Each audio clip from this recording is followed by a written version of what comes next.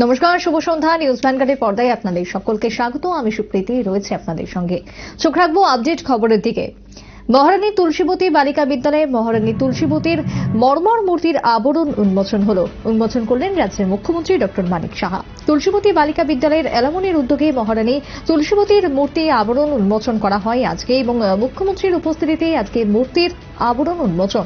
মুখ্যমন্ত্রীর পাশাপাশি উপস্থিত ছিলেন স্কুলের মেয়র দীপক মজুমদার, মুখ্যমন্ত্রীর সহধর্মিনী স্বপ্না সাহা এবং এলামনির সভাপতি পূর্ণিমা রায় থেকে শুরু করে সম্পাদক চন্দ্রা রায় এবং অন্যান্যরা উপস্থিত ছিলেন আজ মহারানী তুলসীবতীর মূর্তি উন্মোচনী অনুষ্ঠানে। মূর্তি উন্মোচনকে কেন্দ্র করে বিদ্যালয়ে ছোট্ট একটি অনুষ্ঠানের আয়োজন করা হয়েছিল। ছাত্রছাত্রী থেকে শুরু করে উপস্থিত শিক্ষক, শিক্ষিকা এবং এলামনি অ্যাসোসিয়েশন সকলের মধ্যে একটা আলাদা আবেগ আলাদা, উচ্ছ্বাস পরিলক্ষিত।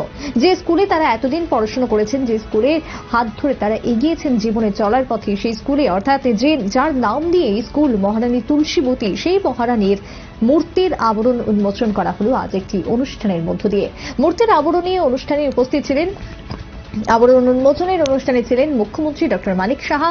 মুখ্যমন্ত্রীর হাত ধরে মূর্তির আবরণ উন্মোচিত। একই সঙ্গে উপস্থিত ছিলেন মেয়র দীপক মজুমদার। আজকের এই অনুষ্ঠানে তুলসীবতী বালিকা বিদ্যালয়ে উপস্থিত হয়ে মুখ্যমন্ত্রীর কি বক্তব্য রয়েছে শুনুন। কিন্তু এমন কাজ করে যাব যেটা বর্তমান হয়ে ইতিহাস হয়ে থাকবে এবং মানুষ যেন বলে যে এই কাজটা উনি করে গেছেন। আজকে এখানে মহারানী তুলসীবতীর নাম, এই কারণেই হচ্ছে যে যে উনি যে কাজটা করে গেছেন, এর জন্য সবাই ওনাকে মনে রাখছেন কারোর সাথে রিলেশন কাজের উপর হবে, পেছনে পেছনে ঘুরছে, বা নানা রকম ভাবে অনেকে এভিজিং করে, সেটার উপর ভিত্তি না করে, কাজের উপর ভিত্তি করে মানুষের সাথে রিলেশন হওয়া উচিত। রক্তের সম্পর্ক থেকেও কাজের অর্থাৎ দেশ করার জন্য, দেশের জন্য চিন্তা করা। এই যে চিন্তা ভাবনা প্রধানমন্ত্রী যদি এভাবে করছেন এবং নর্থ ইস্ট পলিসি উনি যেটা নিয়েছেন, যে নর্থ ইস্ট যতক্ষণ ধরে ডেভেলপ না হবে, ততক্ষণ ধরে এই ভারতে ডেভেলপমেন্ট হবে না। আগে অটল বিহারী বাজপেয়ীজি আমাদের স্বর্গীয় প্রধানমন্ত্রী বলেছিলেন যে ইস্ট পলিসি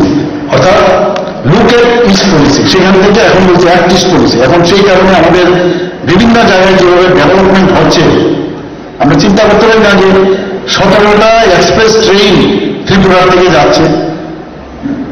ইনক্লুডিং রাজধানী। আমরা বাইরে পড়াশোনা করতে যেতাম, আগে যখন শিয়ালদা স্টেশনে বসে থাকতাম, হাওড়া স্টেশনে বসে থাকতাম, আমরা ভাবতাম যে এদেরই বুঝি এই জগৎ। আমাদের জন্য এটা প্রাপ্য না। ত্রিপুরাতে আছি আমাদের এটা সম্ভব না। আজকে ভাবা যায় না, এখান থেকে হুইসেল দেয়। সেই হুইসেলে সে সাবুন পর্যন্ত ব্লকে খালি আগে শুনতাম, আন্দোলন আন্দোলন আন্দোলন। এখন আন্দোলন ছাড়াই প্রধানমন্ত্রী দিচ্ছে। আমাদের এখানে আবার এই প্রচেষ্টা আমরা করছি, আন্দোলন ছাড়া আমাকে যখনই দাবি সমাজ পেশ করে, এমন দরকার লাগবে না, আমরা চেষ্টা করছি। তোমাদের দাবির আগে আমরা বুঝতে পারি কি কি। সেই বিষয়ে আমরা কাজ করছি।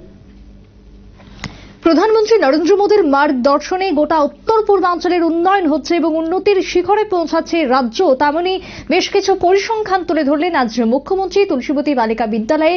মহারানী তুলসীবতীর আবক্ষ মূর্তি উন্মোচনী অনুষ্ঠানে। একটা বিরতি নিচ্ছে, ফিরছে বিরতির পর। সঙ্গে থাকুন।